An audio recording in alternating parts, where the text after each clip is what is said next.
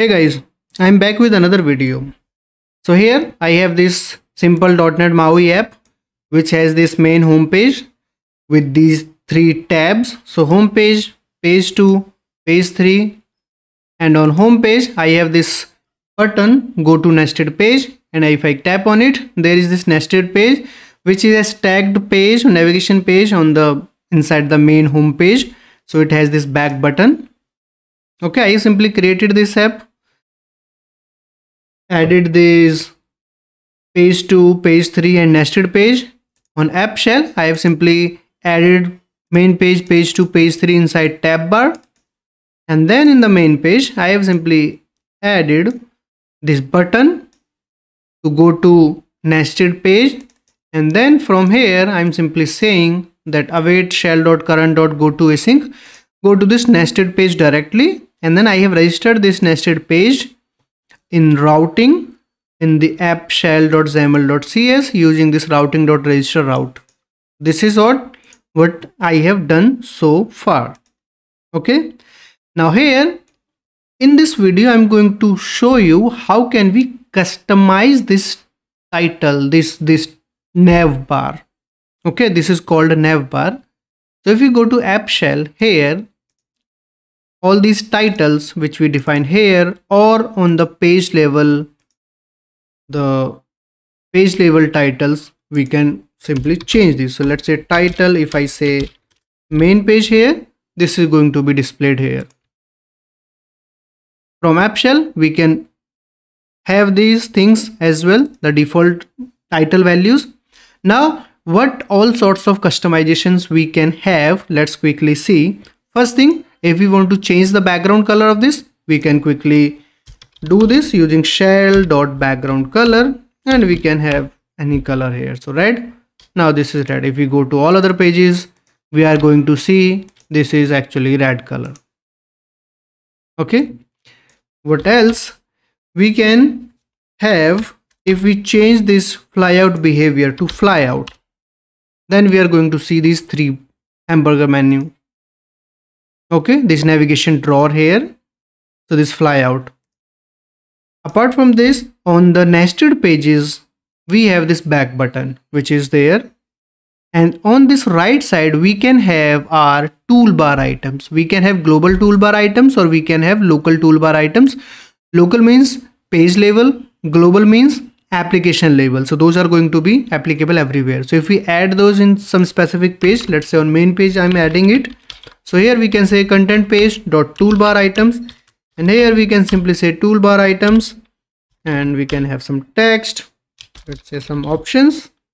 If we do this we are going to see these options here. On page 2 page 3 it is not going to be there. On nested page it is not going to be there because we added it on main page. If we add this on the app shell here content page is not there. So here we'll say shell dot toolbar items. If we save it shell dot toolbar items. We can see two options here. But if you go to page one this is from app shell same thing if you go to the nested page we can see these options here. So this is all customization we can have with these basic settings. Now what if we want to go further I want to have maybe one image here. Right now it just shows says main page. What if I want to have image uh, maybe in WhatsApp app if you have seen we have the user image here user avatar or maybe what if we want to have a heading or page title then some subtext or some description here in the in this title this nav bar only so for all these things uh, what we can do we can actually customize this thing what we can see here using a special control or component. Let's go to main page. Here that is called shell dot title view. Now inside this title view we can have our markup. We can have anything. We can have image we can have grid. We can have vertical stack layout horizontal stack layout. We can have border. We can have all sorts of things. Okay? So shell dot title view is the way by which we can customize this title title bar. Okay? So let's quickly see. I'm going to have a grid here with uh, let's say column definitions of auto and star. So first auto i'm going to have a border let's have a height of 50 width of 50 and let's say stroke shape as round rectangle round rectangle of corner radius 25 if I do this save it. And then if I say maybe some background color of gray we can see this right? And inside this if I now want to add some image I can simply say this image source and here the default image let's have that. So we'll say dot .net underscore bot bot dot png we can have it. So now we can see this image. Okay? Now this is the first column in this grid. So grid dot column 0 now let's have the main title. So we can have a label with the grid dot column 1 and then we can have a text here. This is main page right? So let's say main page. Save it. Now we can see this main page. Let's make it bigger and move it to vertically center. Okay so we'll say vertical options at center. And then i'm going to say font size 25 let's see how it looks. 25 is a lot. Let's say 20 20 is fine. Then we can also have let's say font attribute bold. Yes. And on this grid we can have a column spacing of 10 maybe. So this is looking like this. So this is somewhat similar to the previous one but now we have this added image. Gray is not looking that good. Maybe some uh, D E D E D E. Yeah this is fine. Or maybe we can simply reduce its height and width. Let's say 40 40 and corner radius of 20 and column spacing of 5 okay so we can see this. Save it and now it is good if you go to other pages it is still same but on main page now we can see this customized title view okay here you can have other things as well the thing I mentioned, let's say maybe on page 2 or maybe we have this nested page, right? Go to nested page. On this nested page, let's have the main heading and then uh, the, the subtext kind of thing. So let's go to nested page. Here we can say shell dot title view. Here we can have a vertical stack layout. We can have a spacing of 5 maybe. Inside this we are going to have a label with the text nested page if we see we can see this then let's have one more label text some description description of this page. Save it. We are good. On this main label spacing 5 is a lot. On this first text or maybe instead of vertical stack layout let's have a grid. With row definitions we can have star and auto. The first one is going to have star second one is going to have auto at the very bottom. So we'll say grid dot row one on the second one. So it is at the very end.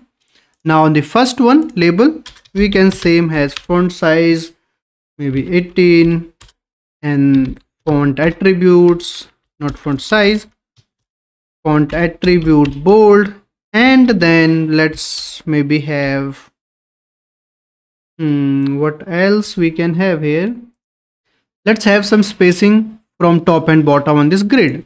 So we can have a padding 0 and 5 let's say. So 0 from left and right 5 from top and bottom. Right now this is not looking that good. Let's have padding on the main page. And then we can have a background color on the title. So shell dot background color static resource let's say primary. So things like that.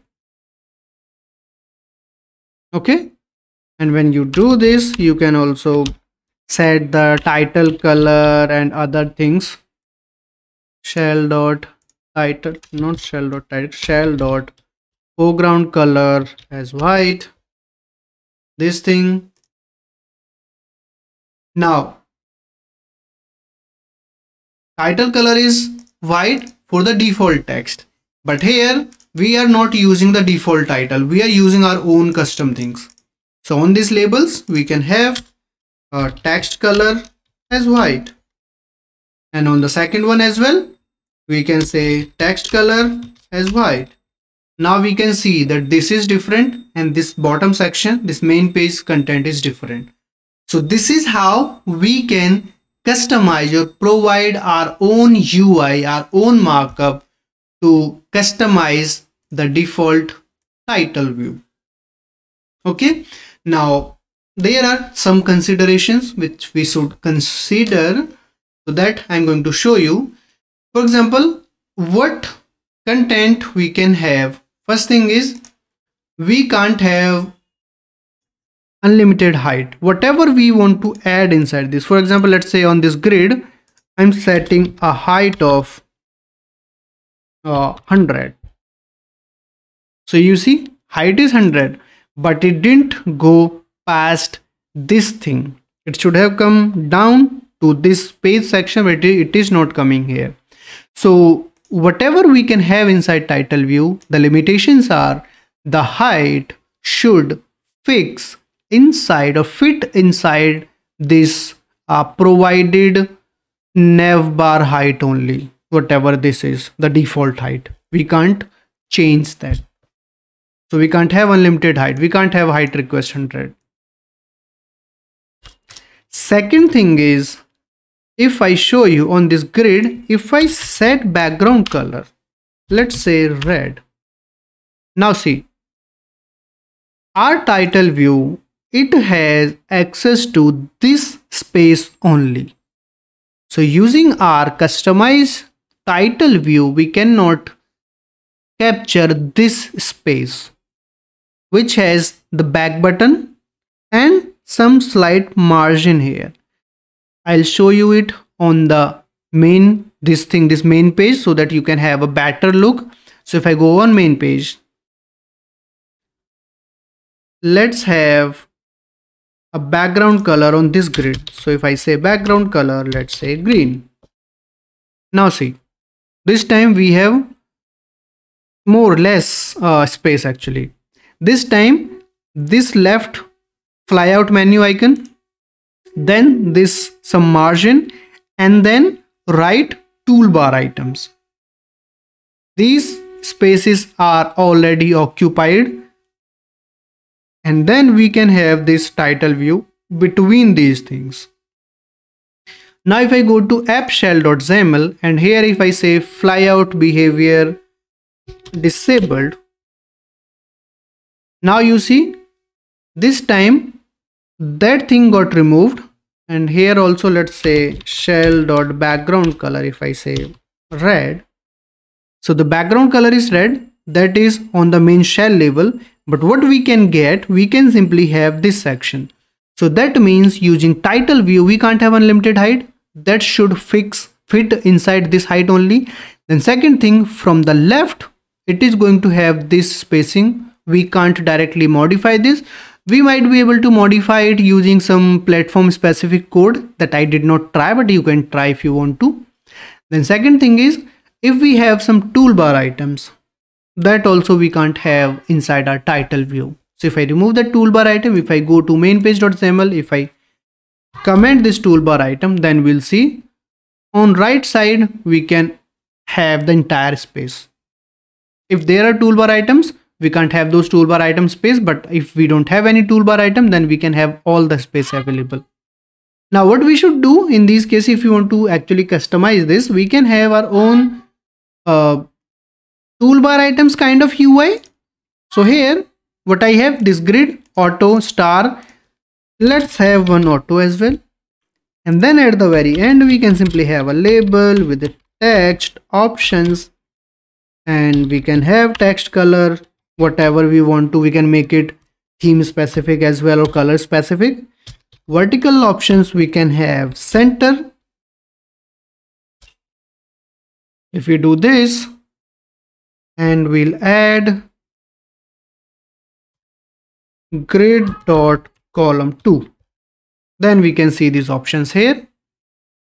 And then on this grid we can simply have a padding 0 from left 0 from top 15 from right and 0 from bottom.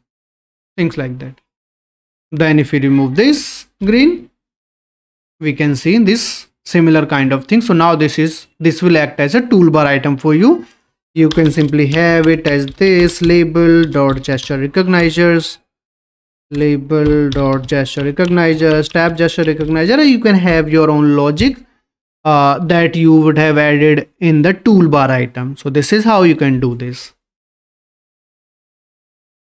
All right so now we are right now adding these things on page specific level page levels if we want to have it on global level we can have the title view on app shell level as well. Okay? So on app shell let's say if i have something i'll say shell dot title view here we can have anything actually. So let's for now let's have a label with the text uh, app shell title view vertical options are center let's maybe have horizontal options at center as well. And then we can have a font size of 20 font attributes as italic or whatever. So right now if you go to home page we can see our home page title view if you go to page 2 now we can see this title view which we have defined on our app shell level. So on app shell this is going to be global applied to all the pages and it can be overwritten by the page level title view. So on page 2 we didn't add any title view that's why it is getting this from app shell. Page 3 getting it from app shell. Home page it is getting it from the main page.xml because here we have defined our own title view. Same thing if you go to a nested page, nested page has its own title view. So this is not uh, using app shell as well. Alright, so the options are up to you. You can do these in different ways, whatever suits you